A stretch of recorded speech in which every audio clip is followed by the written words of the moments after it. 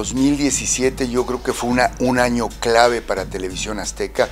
Benjamín Salinas asumió la responsabilidad de Televisión Azteca hace dos años y él obviamente vino con un proceso de, cambios, de reingeniería, de todo, que llevó a, a Televisión Azteca a, una televisión azteca mucho más sana.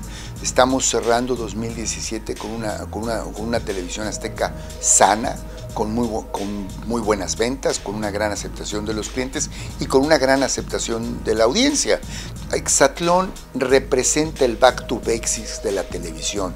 Tienes una competencia sana, un reality muy sano, eh, aspiracional, donde hay gente joven, donde es estimulante para los niños, donde los adultos nos entretiene. Entonces, Exatlón se ha convertido en el gran favorito de la audiencia en México porque reúne el ingrediente de la aspiración y de un contenido sano.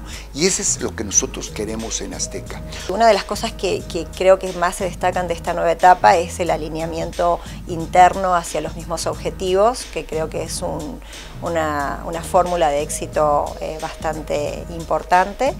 Y bueno, eh, para mí es, sin duda eh, un camino que vale la pena transitar y que, y que va a tener muy buenos resultados.